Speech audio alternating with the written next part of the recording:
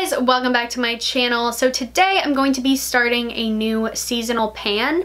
I just finished up my 8 by October pan and I'm pretty happy with how it went. Um, I feel like I made pretty good progress on some products. I did finish some up, so I'm pretty excited about panning right now so I really wanted to start another seasonal pan. I was debating not doing one because I have my 18 and 2018 and also my Taylor Swift pan going on right now. So I was wondering if maybe that was enough and that I definitely didn't need to put myself, you know, give myself more stress into panning. But I decided I wanted to give it a go bring in the rest of the products that I didn't use up from the October pan and then a couple other things that I either just want to get more use out of or that I'm already pretty close to using up.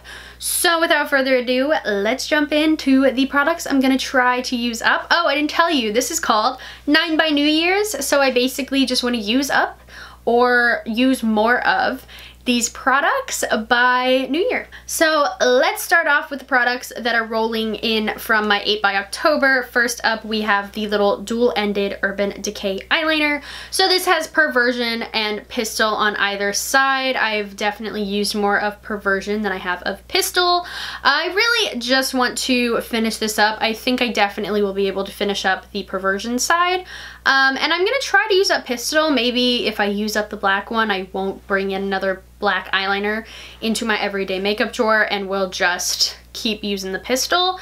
Um, Pistol isn't my favorite just because I don't feel like it is quite enough of an like it doesn't have quite enough of an oomph for me um to really show up i do like like a darker you know more like in your face tight line. So that is one thing. It's super metallic and sometimes not the look I'm going for, but I'm gonna try to use it a little bit more. Um, I have realized these aren't my favorite eyeliners and that I definitely found ones that I'd like more. These were my favorite when I started makeup, but not so much anymore. But hopefully I can make good progress. Next up for stuff that is rolling in from the last pan, this is the Kat Von D Lock-It Setting Powder in Translucent. I find that I definitely use liquid foundations more in the cooler months, so hopefully now that we're going into fall and October and winter and just like the best time of the year right now, um, I will be able to use translucent powder a little bit more because I will be using those liquid products and I have an oily face that's a nice way of putting that. I have oily skin, so I definitely need to set all my liquid uh, products. So hopefully this will roll out. I do find that I can use a lot of this in one go without looking crazy. So hopefully this is gonna be out. Next up, we have the never ending bronzer, and that is the Too Faced Chocolate Soleil bronzer. Uh, this is a tiny little deluxe sample. It's like two grams or something crazy something crazy like that. How many grams? Two and a half grams. Um, and it looks like I haven't used it, but I've been using it all for a freaking year. Go figure. Uh, this is dark for me, so I don't need much. I'm going to use the same spiel I always give with this. Like, I'm kind of sick of talking about it at this point. So basically, this is in this pan. We're going to see. I don't have a lot of hope, but we'll see.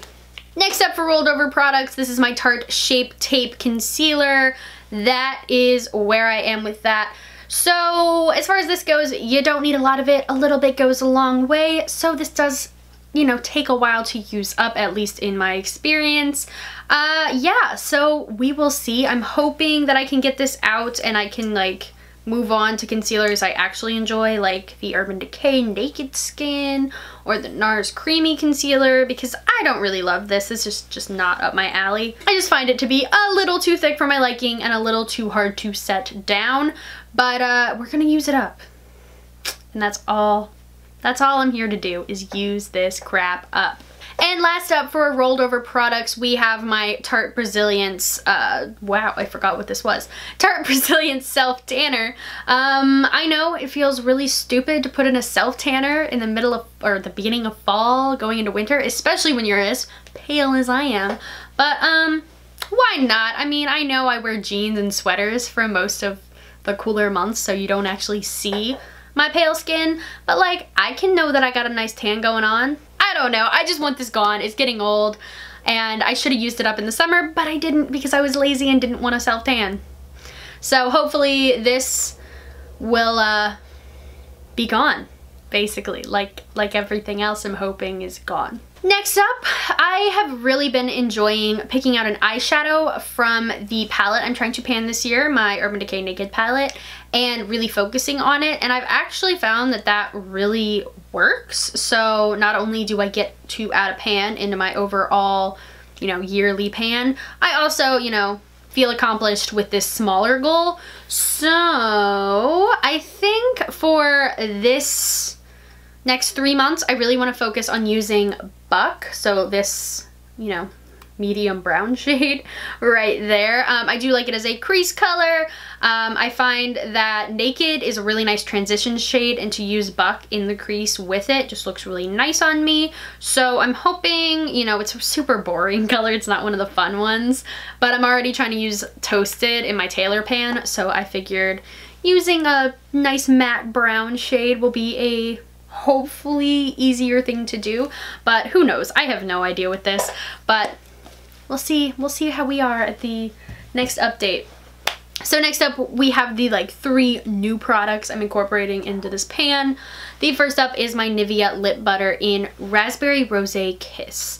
So I probably would have used this as much, like I probably hopefully would have used this up by the end of the year anyway, but I wanted to put this in here just to like see my progress. So I have so much pan on this thing, so I really only have up in there. Um, and that's why I really feel like this is a reasonable expectation to have this gone by the end of the year. Um, I really do love these. I do only use them at home, which is what really slows down my progress on these because I'm not gonna bring this in my purse and have like my dirty fingers like while I'm at Target like after I've touched things and then go and no that's gross. I really only use this at home when I've washed my hands so like right before I do my makeup with clean fingers or like right before I go to bed when I have clean fingers that do I reach into this. So I just want to like use it more think of it more when I'm at home. Um, it's not like I can put this in my purse with me so it's really just at home use but um, how many times can I say that I only use this at home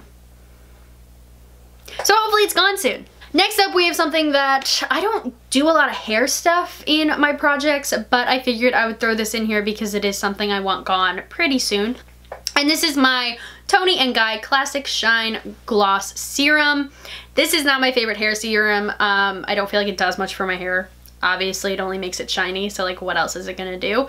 But um, I have been using this on a daily basis as it is, so I just figured I would throw it into a project because if I'm gonna use something and I'm probably gonna use it up, why not throw it in a project?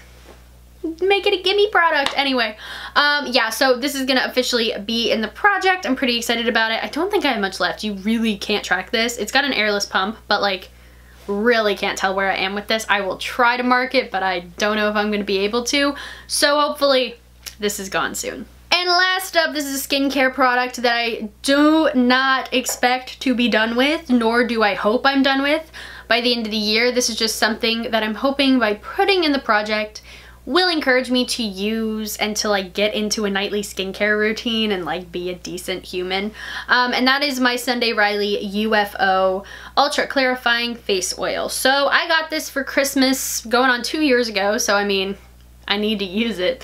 I need to use it up and um, I will mark it in a little bit. But I don't use this as much as I should. You don't need much of this. The smell of this can kind of like give you a headache if you're not careful. But I don't use it most nights because I'm an awful human and I basically like take my makeup off and go to bed and like it's awful. So I'm hoping that by putting this in the project, I will encourage myself to adopt a skincare routine and this can be the little finishing product of it. Um, I try to go back and forth with this and my virgin marula oil from Drunk Elephant because I just don't want to dry my skin out too much. But yeah, hopefully I can make some progress on this. I by no means think I'm going to be able to use this up. I just, I want to get use out of it and I want it to instill a habit. So those are the, all the products I'm going to be trying to use up or make better progress on between now and the new year. I'm super excited about it. I'm feeling very optimistic and encouraged about panning right now. So hopefully that will transfer into some progress.